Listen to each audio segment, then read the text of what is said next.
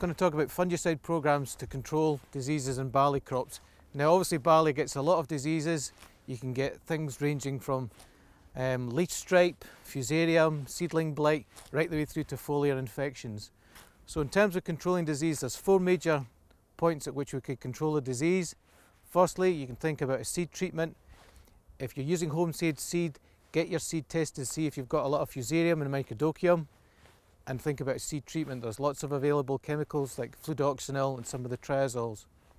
Next important uh, stage to control disease is the T-naught spray. That can be up to during the tillering stage for spring and winter barley. So you need to walk your crop, see what disease you've got present, try and avoid the triazole at that point, keep that for later on. If you've got some mildew, you can control mildew early on with a T-naught spray. There's some eradicant um, chemicals available, the morpholines, they can be quite harsh, or there's some protecting uh, chemicals. Um, is, is an example of one.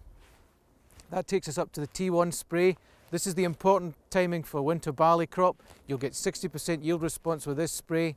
So you need to walk the crop, see what disease are present.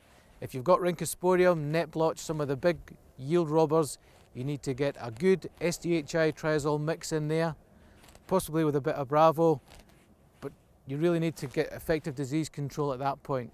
The last point at which you can um, put fungicide onto your crop is the T2 timing. This can be anywhere between growth stage 39 and 59. Again, you need to think about what diseases you've got present and in winter and spring barley we're thinking about ramularia control at this point. Now in 2017 we've seen resistance appearing to the triazoles and the SDHIs so it's vital you get the chlorothalonil in at this point. And also if you're thinking about controlling against head diseases, you need to put a triazole in that T2 spray when the ears emerged.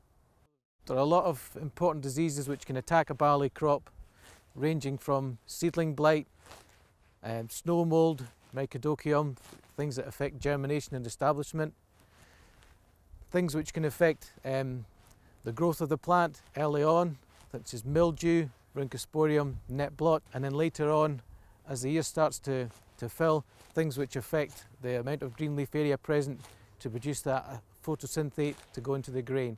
So again, you're talking about things like Rhynchosporium, the rust diseases, net blotch, and very importantly in Scotland, ramularia.